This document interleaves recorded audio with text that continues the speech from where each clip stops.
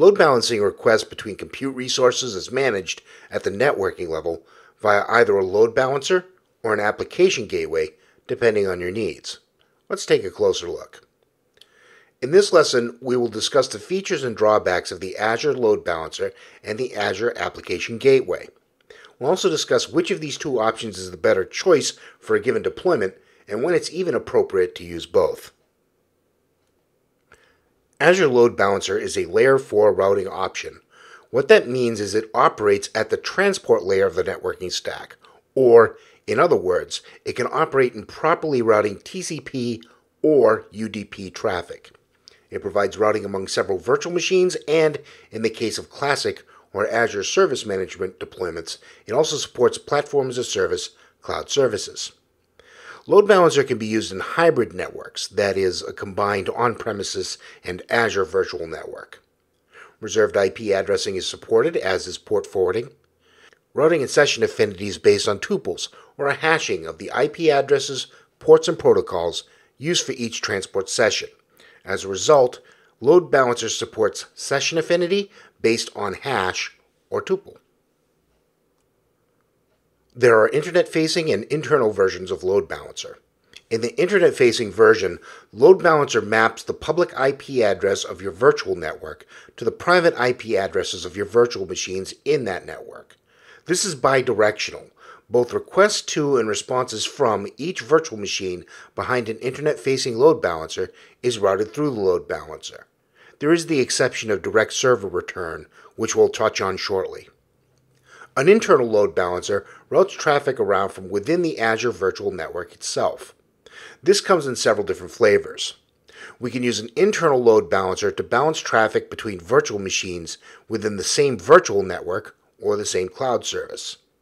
In a hybrid network, we can load balance the VM traffic in both the same cloud service and virtual network when speaking to the on premises network and we can load balance traffic among tiers of virtual machines in a multi-tier application. For example, if my application has a data tier and a processing tier, I can put both the data tier VMs and the processing tier VMs behind their own internal load balancers. Then, whenever a request is made for my presentation tier, maybe it's a web app, the request will be load balanced to my processing tier. If the processing tier virtual machine then needs to make a data request, its request will be load balanced by the data tier internal load balancer. While this makes for a somewhat more complicated network topology, it should markedly improve performance since every request across all tiers of the application are being load balanced for each session. So, what are the strong suits of load balancer? Primarily, they are flexibility and performance. Load Balancer allows me to route any kind of traffic across my virtual network. I can create port forwarding and persistence rules. I can even opt to send traffic directly back to the client, bypassing the load balancer if I'm worried about traffic bottlenecks. For example, I would probably want to bypass the load balancer if my VM is sending back to the client something that is bandwidth intensive, such as a streaming video file. This is called direct server return. An internal load balancer allows me to create robust N-tier architectures by placing each tier of the application behind a load balancer. When properly designed and configured, this should ensure maximum performance, especially if the load balancer should correctly address scaled out virtual machine instances once I enable auto-scaling of the VM set. Finally, because a single load balancer can handle multiple virtual IP addresses or public IP addresses, I can use a load balancer to host multiple port listening services across the same set of virtual machines. For example, I could set up a web server farm on, say, five virtual machines. Each of those VMs would serve a different website depending on the port being used to connect.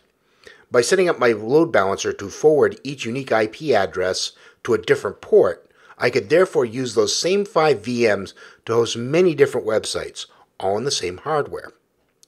Finally, I can customize my load balancer's health probes. Depending on how my endpoints are set up, I can have the load balancer take the endpoint offline if I detect some undesirable state on the virtual machine. For example, maybe I have an essential service on this machine. I can detect through my software running on that VM whether that service is running. If not, I can have my VM respond with a non 200 status code to the load balancer's health probe. When that happens, the instance will go offline and load balancer will no longer send it traffic. There aren't many drawbacks to the Azure load balancer. If I want to be picky, I can note that the routing rules inherent in load balancer aren't very granular. I can specify a destination based on the protocol, UDP or TCP, the source IP address and the source port, but I can't refuse connections based on those parameters, for example. Also, load balancer does not support SSL offloading. This means each virtual machine behind the load balancer must do its own decrypting of those requests, which does introduce some overhead. Finally, it can be tempting to misuse load balancer. In some cases, you need to route traffic specifically to a specific virtual machine. And you could do so with load balancer. But this is an anti-pattern for the cloud, especially if you want your resources to be scalable. If you configure a specific machine to handle all the requests from a given source IP address, for example, then you can't scale that machine out because the load balancer can't send traffic from that source IP to any place else. This stymies your ability to handle unexpected traffic events and also means your solution is susceptible to downtime, as that single VM may need to restart or worse, decides to crash. Finally, Load Balancer uses HTTP probes and status codes to monitor the health of the virtual machines it is balancing. As a result, your VMs must have a web server running on them and respond with a 200 OK status code to the load balancer's GET requests. If your VMs don't do that, Load Balancer will take them offline. So when is it appropriate to use the load balancer? Well, you use the load balancer to balance each tier of an n-tier architecture, to balance all the traffic on a specific IP address or group of IP addresses, to coordinate traffic between a virtual network and the on-premises network in a hybrid network, and to direct traffic on a specific port or from a specific IP address to a specific virtual machine. Now let's talk about Azure Application Gateway. Application Gateway provides load balancing services at layer 7, or the application layer. In other words, it balances traffic for requests to a specific application, namely a web server. Application Gateway provides WebSocket support, so if you have a modern web application that emulates a stateful connection to a client, such as a web chat application, you can put your WebSocket driven components behind an Application Gateway. Application Gateway includes a web application firewall that protects against common attacks such as SQL injection, cross site scripting, and session hijackings. This feature is currently in preview. Routing is managed by the form of the requesting URL. Requests are routed round robin, meaning each HTTP based service behind an application gateway that is set to respond to a specific URL will have an even chance of handling a request. In those cases where traffic must be routed to the same virtual machine, such as a shopping cart, cookies are used to maintain session affinity. A major bonus of Application Gateway is SSL termination and handling. An application gateway will take over the computationally expensive task of decoding SSL requests and provides end to end SSL processing, meaning the VMs behind it have a significant burden removed from them. The Application Gateway service comes in two SKUs, Standard and Web Application Firewall. As the name suggests, if you want to use the Web Application Firewall in your Application Gateway, you need the WAF SKU. Otherwise, you use the Standard SKU. There are three service tiers, small, medium, and large. The primary difference among them is the speed of which they process requests, the cost of outbound data, and the amount of free data output you get per month it is unlikely Exam 70 534 will ask you about specific differences among the service tiers, so I won't get into them here. It is worth noting that all inbound traffic is free for all service tiers.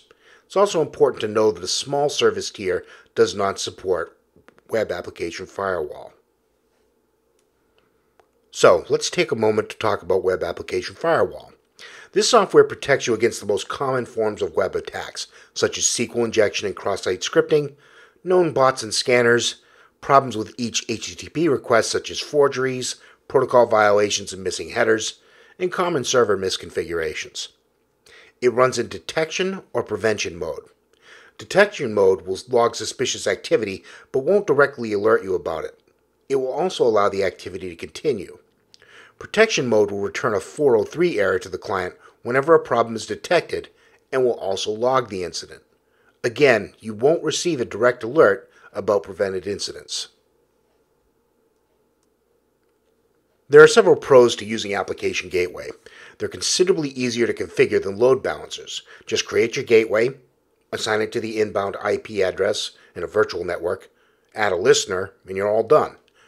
The process is a little more complicated if you're using SSL offloading. In that case, you do need to configure in the SSL certificate you plan to use, plus add a rule to do the decoding and encoding. Application Gateway in the WAF SKU can protect you against common web attacks and it works for public and private IP addresses. Like Load Balancer, you can create custom health probes for an application gateway too.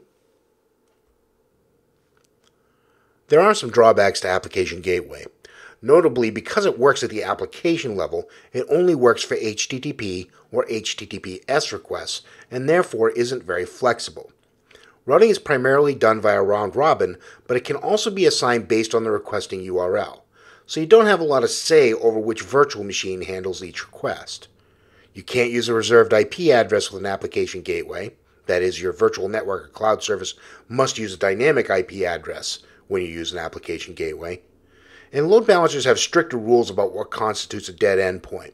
Application Gateway gives a VM up to 30 seconds to respond to a probe and takes it offline after five failed live traffic requests. Load balancers consider an endpoint idle after 15 seconds, and takes the instances offline after two failed live traffic requests. So, when do we want to use an application gateway? When we want to protect our virtual machines and web apps that are in a virtual network against common web attacks through the web application firewall. When we want to route traffic among several different web server VMs or web apps that are in a VNet within a specific VNet. We can use them in concert with a load balancer for multi tier applications and to maintain session affinity for specific applications such as shopping carts and webmail and the like. Also, if our workload is SSL intensive, an application gateway really makes a difference. Finally, we can bring together load balancers and application gateways into a unified approach to load balancing. This is typically done when your application is tiered into a web based presentation layer with data and compute layers backing up that presentation tier. For example, suppose you manage a bicycle rental business. You have a web app that lets people book, return, and pay for bicycles. A data tier would be used to hold on to which bicycles are where, which ones are currently rented, and when they're due. That data tier would also hold on to customer information. It would communicate directly with the compute tier, but not the presentation tier we would apply an internal load balancer to the data tier's VM subnet to ensure the data machines are properly isolated and that the workload from the compute tier is spread out among them. A compute tier would be used to help customers find the nearest rental location, review their rental histories, create a new rental, and process payments. That tier would communicate directly with the presentation tier. Again, here we would apply an internal load balancer to coordinate traffic with the presentation layer. The presentation tier would, in turn, use an application gateway to manage external traffic on its public IP address. In addition to spreading out the public requests across all presentation VMs, the application gateway can also protect us against attacks via the web application firewall. The application gateway will also ensure that our reservation requests are handled by the same web server VM, and the load balancers between the compute and data tiers would preserve sessions for each internal request made when processing that reservation. So, acting in concert, our two internal load balancers and our public facing application gateway ensures the workload for each request is as efficient as it can be while simultaneously protecting us from attack keeping each user session straight and ensuring the requests are not crossed over. That's it for this lesson. When you're ready, let's wrap up here and check out the demo.